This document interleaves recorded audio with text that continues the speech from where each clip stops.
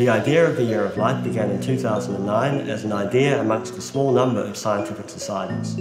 It's now evolved into a worldwide collaboration, which kicks off on the 19th and 20th of January in Paris at UNESCO headquarters. The initial idea, which we had as a scientific community, was to try to raise awareness of the importance of uh, photonics and optical technologies. We want to get to the local population and also to the policymakers to emphasize how important light and uh, optics uh, underlies our modern society.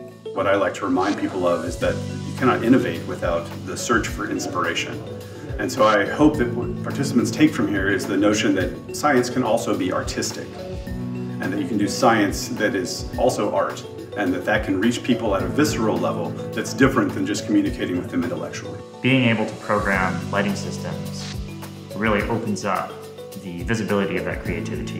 It's just extremely fun to be able to bring that intersection of art and technology in a, in a, more visible way to a much wider audience. Light art is quite new, actually, and uh, it's growing quite fast, and it will make uh, light itself uh, more, uh, more public, I, I, think.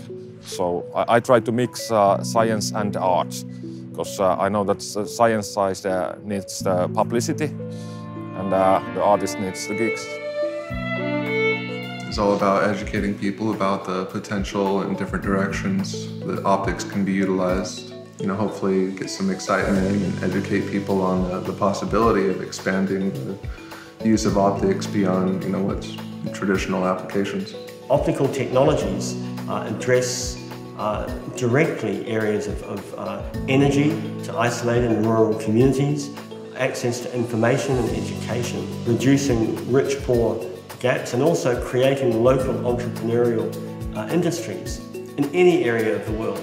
We sat around, we think about how nice it would be, you know, if we can spread the light, bring light to children all over the world. And, you know, together we can make a difference. It's not one person. Take many pairs of hands to make a difference. Optics is energy, optics is medicine, optics is high technology, optics is security, optics is everywhere.